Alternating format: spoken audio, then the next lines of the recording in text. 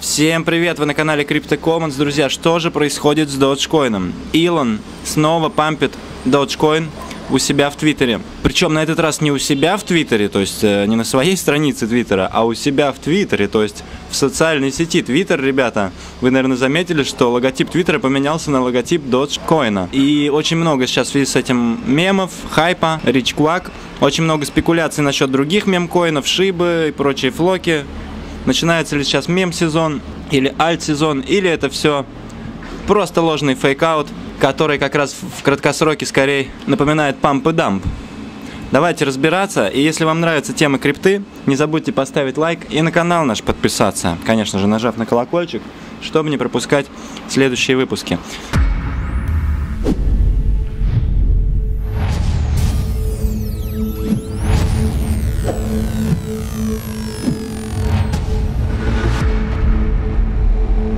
Итак, цена отреагировала на это достаточно положительно, отскочив на 36% без малого. Но прямо сейчас мы видим, что? Мы видим красную точку на трехчасовом сайфере и потенциальную перегретость. Давайте посмотрим часовой таймфрейм. Да, мы здесь также начинаем корректироваться, но обратите внимание, по доджу мы корректируемся по тренду. Мы корректируемся в восходящем тренде.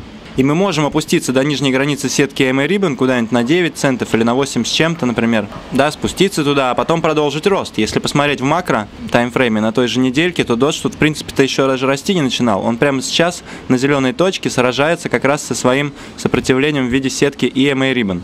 С другой стороны, посмотрите, что было в прошлый раз, когда он так делал. Он сходил туда ложно, и потом пошел дальше, в бок. Поэтому здесь надо смотреть, конечно же, за уровнем сопротивления 12 центов по закрытию тела свечи Хайканаши и также по теням это уровень 16 центов примерно. Вот эти два уровня по доджу будут знаковые. Если мы их пробиваем сейчас, то, конечно же, это будет как было с Шибой, помните? Года полтора назад. Вот, поэтому интересно выглядит Dodge в краткосроке. Но не забывайте, я вам напоминаю, что с моей точки зрения Dodge к биткоину все еще очень медвежий. Да, мы сейчас видим зеленую точку, хороший отскок на недельках.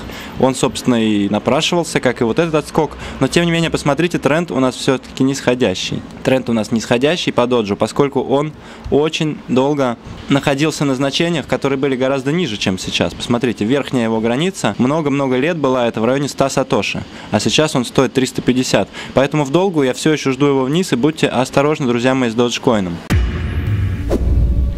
Ладно, хватит о собаках. Что по биткоину? Смотрите, биткоин продолжает уверенно переть наверх на недельном таймфрейме. И вообще никакие даже тут, э, никаких признаков на разворот. Разве что вот мы подбились к очень сильному уровню. Я вам напоминаю, что мы входим в очень сильный уровень сопротивления и предыдущей поддержки. Вот здесь, посмотрите, вот здесь у нас было много поддержки, в этой зоне. И вот мы прям к ней и подходим. Поэтому, на мой взгляд, вероятно, что мы сейчас, может быть, от нее увидим какую-то коррекцию, но в целом туда попадем, в этот коридор, и будем тусоваться там. А это, я вам напоминаю, что примерно 29-36-35 тысяч по битку.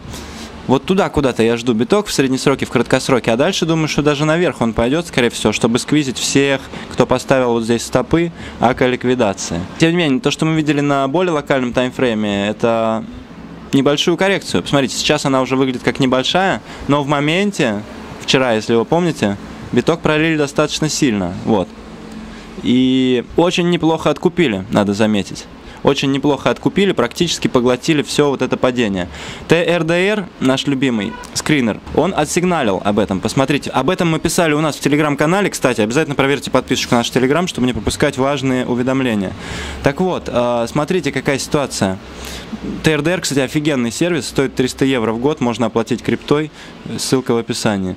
В общем, это не совсем сигнал на шорт, это скорее сигнал на сильный уровень. Посмотрите, как предыдущие такие сигналы работали. Вот. Это сигнал на сильный уровень, что ниже или выше, скорее всего, не пробьют, потому что очень большой блок ордеров. Но в долгую, как правило, такие сигналы отрабатывают. И коррекция все еще может быть, потому что вот здесь у нас зажигался желтый сигнал, но он погас, он не закрепился, поскольку плотности заявок э лимитных заявок не хватило, чтобы пройти тот порог, после которого зажигается индикатор. Вот, поэтому здесь все еще нас могут опустить на самом деле ниже в моменте. Посмотрите, мы ведь на самом деле, мы ведь на самом деле очень неплохо отросли с вами, даже вот отсюда, если посмотреть по Фибоначчи, мы сходили всего до 0.23 фибы. Мы все еще можем упасть до 0.38 фибы, куда-нибудь в район 25 тысяч долларов. Или даже пониже заколоть. И это будет нормально. Это может произойти не сразу. Мы, может, сейчас начнем пробиваться наверх, все поверят в Тузамун, 30 тысяч пробьют, и потом нарисуют сквиз куда-нибудь до 0.38 или даже на 0.5 фиба, и потом также резко отскочат.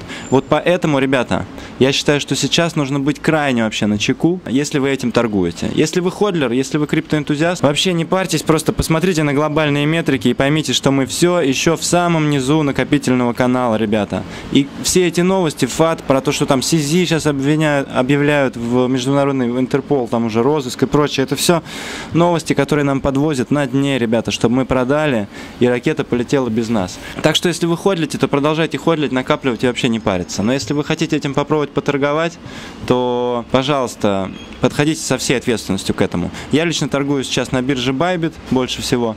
Также торгую на Фемиксе, на Bitflex, на Bitget. Ну, в общем, на Bybit основные позиции, поэтому вам их и покажу. Это биток, эфир, Dash, аудио, BitDAO, Litecoin, Mana, XRP. Более-менее в безубытке сейчас все, поскольку я открывался, сто раз перезаходил уже, вот вся накопленная прибыль оставлена. Собственно, удалось очень неплохо заработать за эти последние несколько месяцев. На этом флете, можно сказать, на этом первом буквально импульсе отскока. Поэтому, ребята, все только начинается. Будут локальные коррекции, обязательно не торопитесь, ждите.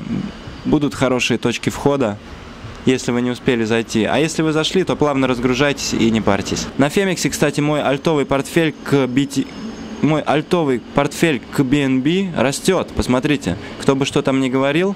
Я даже не, не вижу сейчас график BNB, но я понимаю, что, судя по всему, BNB растет медленнее, чем эти альты.